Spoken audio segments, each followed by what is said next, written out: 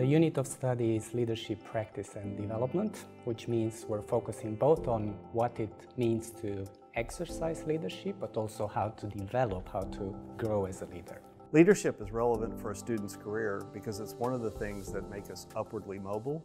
I'm passionate about this because I think it's the essential ingredient to organizational success.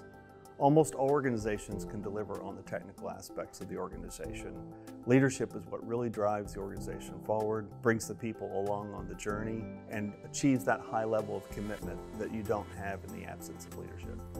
I think the very exciting part uh, about this unit is um, that we really get to work with individuals from exactly where they are which means they might be at a certain stage in their leadership journey. So we take it exactly from there.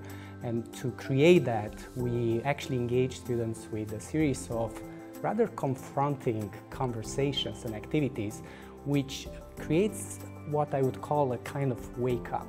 Uh, and what I mean by that is really helping students to become very aware of what they might need to learn in order to become even more effective in their leadership or really release their capability that's already there. That creates a very engaging unit, that creates a unit that uh, touches students in, at a very deep level.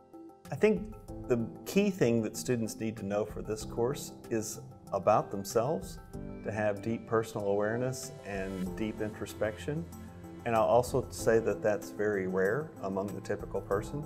So actually one of the things they're going to get from the course uh, is that deeper sense of self-awareness, the deeper sense of how they show up as a leader, uh, which can be both uh, confronting and challenging, uh, but can also be fun. A very short way to describe the unit would be deep learning.